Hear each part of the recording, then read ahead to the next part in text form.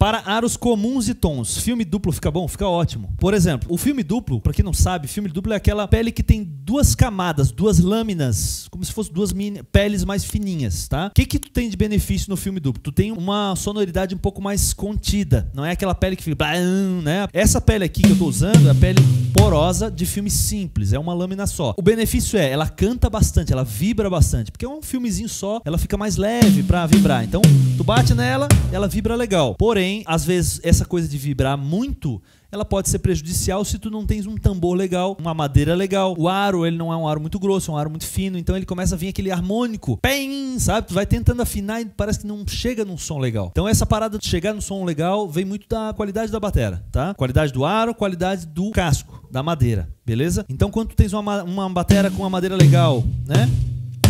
O aro de preferência um pouco mais grosso, tu consegue uma afinação melhor do tambor. Porém, por exemplo, tem pessoas que tocam metal, rock, ou toca worshipzão mesmo, senta a porrada na batera. Então, tipo, aí não, não sei se também é recomendável tocar com pele porosa, porque a pele porosa também, ela tem uma durabilidade menor, né? A pele de duplo filme, que é essa pele mais grossinha, porque ela tem duas camadas, ela tem um som um pouco mais contido, mais equilibrado, então aqueles harmônicos que sobem assim, que não são legais, muita vibração e um tambor que não é legal, esses harmônicos eles acabam acabam sendo segurados ali pela pele, que ela é mais equilibrada. Depois tem a pele de filme duplo, que são dois filmes, e tem a pele também hidráulica, muito famosa também. A Ivans, que criou essa pele hidráulica, né? Que tem, ela tem um óleo dentro, no meio das duas peles. Tu consegue perceber que tem uma bola de óleo, assim, dentro da pele. Então ela segura mais ainda, o som fica mais aveludado. Então, na maioria dos casos, essas baterias de entrada, bateria de 3, 4, 5 mil reais, a recomendação inicial sempre é pele de filme duplo. Aquela pele transparente que tem dois filmes, tá? Se tu ainda não é inscrito aqui do canal, aproveita, se inscreve. Toda semana a gente joga vários conteúdos bons, legais aqui, conteúdos um pouco mais rápidos, né? Pra tu aprender aí, enriquecer o teu vocabulário de ideias, de viradas, de grooves, de técnicas, ritmos, tudo mais, beleza?